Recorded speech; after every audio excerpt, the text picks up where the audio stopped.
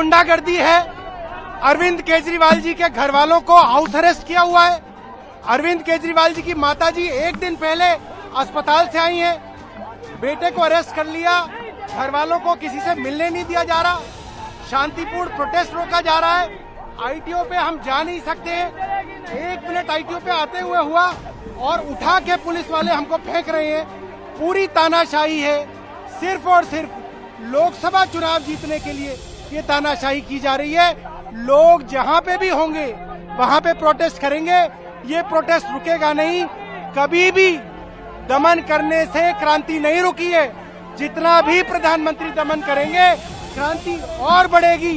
एक एक गली में एक एक मोहल्ले में केजरीवाल पैदा होंगे।